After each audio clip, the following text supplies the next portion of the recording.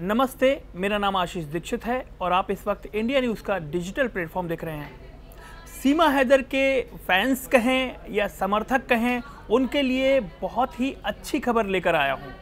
सीमा Haider raw agent की जो किरदार में आपको कुछ दिनों में नज़र आएँगी। सीमा हैदर को एक फ़िल्म जो है, मिली है। अमित जानी फ़िल्म प्रोड्यूसर हैं। उन्होंने फ़िल्म उनको ऑफ़र की है, आज वो उनके घर पहुँचे थे। सीमा हैदर की आर्थिक तंगी को देखते हुए पिछले दिनों हमने ये मुद्दा उठाया था। उसका असर ये हुआ कि अमित जानी ने इंडिया न्यूज़ पर कहा था कि सीमा हैदर को मैं अपनी फ़िल्म में लूँगा। कन्हैया लाल मर्डर केस आपको याद होगा, जो उदयपुर में हुआ था। उस पर एक फ़िल्म वो बना रहे हैं, जो नवंबर में रिलीज़ होगी। उसको लेकर वो उन्होंने प्रॉमिस किया था कि सीमा हैदर में जो एक्टिंग टैलेंट उनको दिखता है, उसके, उसको देखते हुए वो उनको अपनी फ़िल्म में लेंगे और आज वो सीमा हैदर के, ये देखिए मेरे पास वीडियो है, सीमा हैदर के घर पहुँचे और सीमा हैदर ने उनके पैर छुए, आशीर्वाद लिया और ये कहा कि मैं फ़िल्म आपकी करूँगी, मुझे आपका ये जो फ़िल्म जो है वीडियो बंद हो गया है, मैं आपको फिर से दिखाता हूँ। उन्होंने कहा कि मैं ये फ़िल्म करूँगी और आ, करने के साथ आ, उन्होंने रोल जो उनको बताया गया उन्होंने वहाँ पे ऑडिशन भी उनका लिया गया जिसमें वो पास हो गई हैं। और आ, फ़िल्म करेंगी लेकिन उन्होंने एक शर्त ये रखी है क्योंकि जैसा आप जानते हैं कि एटीएस और सुरक्षा एजेंसियाँ तमाम उनकी जाँच कर रही हैं जासूसी एंगल को लेकर के।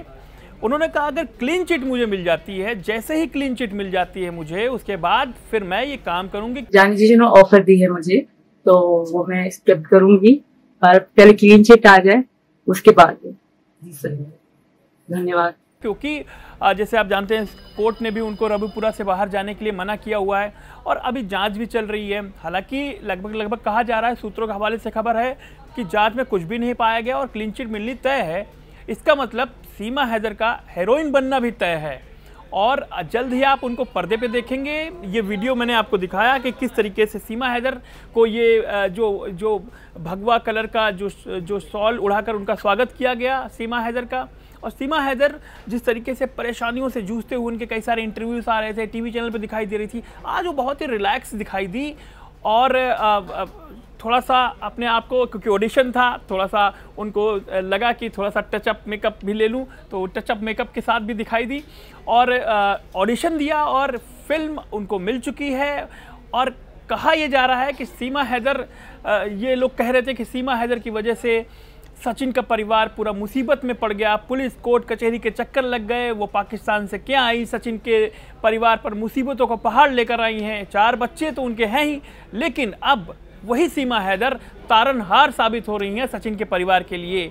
जिस तरीके से उन पर काफ़ी कर्ज था आ, कहा जा रहा था कि सीमा ने कर्ज उतारा है लेकिन सीमा से मैंने डायरेक्ट जब पूछा था कि सीमा क्या आपने पैसे देकर सचिन के परिवार की मदद की है तो उन्होंने साफ़ इनकार किया था।